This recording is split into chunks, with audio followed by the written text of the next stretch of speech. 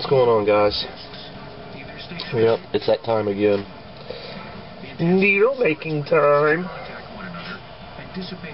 God, I hate this job. and it, I'm going to give you guys a Mr. Clean with Febreze Fresh Scent. Lavender, vanilla, and comfort. This stuff has so much ammonia in it, it smells like cat piss. I didn't have any Windex, so I used it to clean off my glass. Like it smells the fucking ammonia. It smells like cat piss. God. Ugh. God, I can't stand that smell. It's supposed to be fresh scent was Febreze. Well, I think they forgot to put the Febreze in that bottle. Ugh.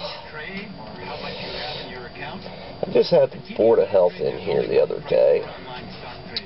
Um, we get inspected a few times a year. Um, if there's a complaint,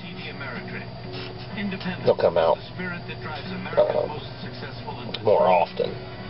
The more complaints you got, the more times they'll show up. Um, so they tried to get better a few years back. I went like three years without an inspection. The guys that was in charge just wasn't doing his fucking job. His excuse was, well, you didn't have any complaints, so we didn't come out. You know, I shouldn't have bitched because, you know, the less they're out of my ass, I guess the better. But if they're not inspecting me, that means they're not inspecting other guys. I said, they were. You know, they were inspecting the ones that have complaints and stuff like that. But I know a few shops around town, and a couple of them need to be inspected a lot more. And hell, one went a few years without hot water. So, can't be real sterile if you don't have hot water.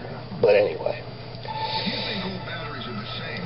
she uh, is a new inspector.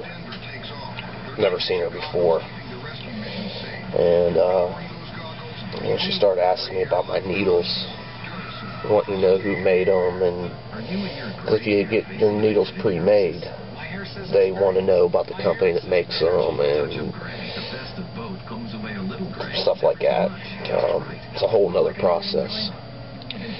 When I told her I made my own, I thought the woman was going to drop her clipboard. Um, it has become a lost art, I guess. So, um, 2, 4, 6, 8, 10, 12, 14, 16, 17. I've had a couple people get a hold of me wanting me to do um, more videos actually showing how that I make them. Um, because I guess there are some aspiring tattoo artists out there that want to know. Um, so to my regular viewers, you might want to skip this video. Um, it might not be your cup of tea. It might be kind of boring to you.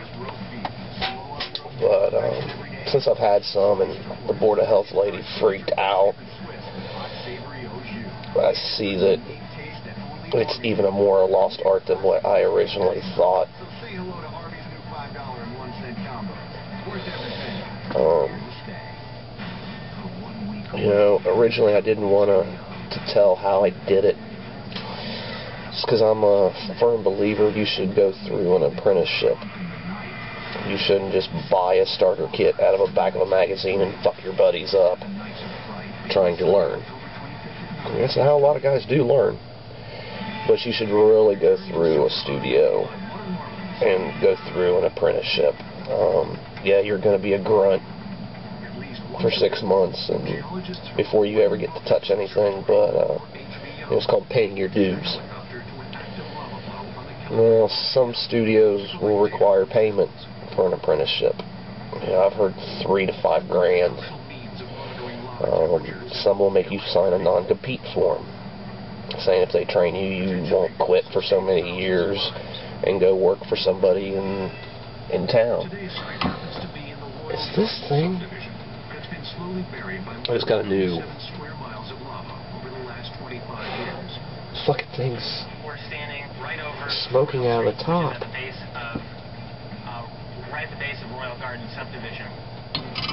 That's kind of scary.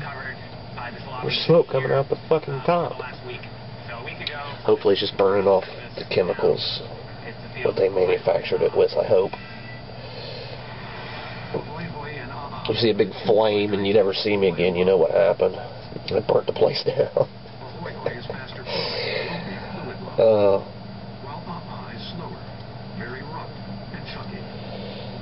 now, there's a reason that this is becoming a lost art. Because companies make needles for you and you don't have to know the knowledge on how to do it. And I've had guys sit here and argue with me and tell me that it's cheaper to buy them yourself pre-made and that's just fucking ridiculous. Anything that they sell pre-made and as a kit is cheaper to buy as a kit. You got to pay somebody to do it. You know, and they'll try telling me that it's cheaper to buy them pre-made. You know, and then when you show them that it's cheaper to do it this way, then they come up with the excuse that, uh, well, your time's worth something. Alright, I've been doing this a lot of years. There is some point in your week where you got an hour or two that you're just sitting around fucking watching TV, playing a video game, doing something. We don't work 24-7.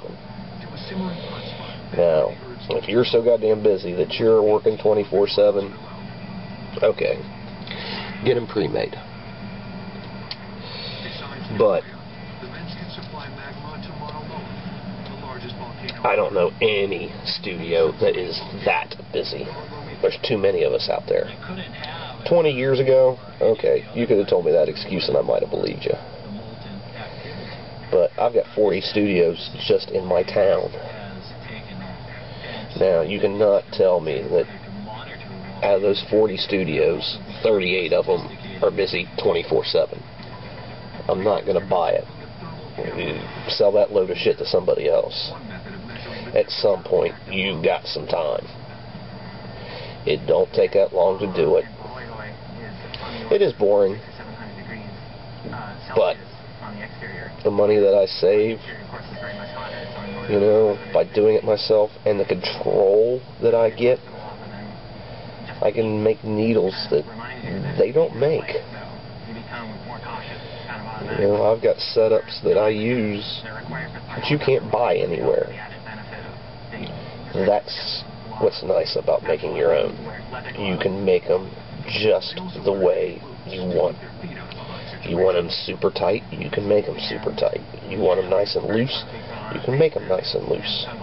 Depends on your style of tattooing, you can make your needles.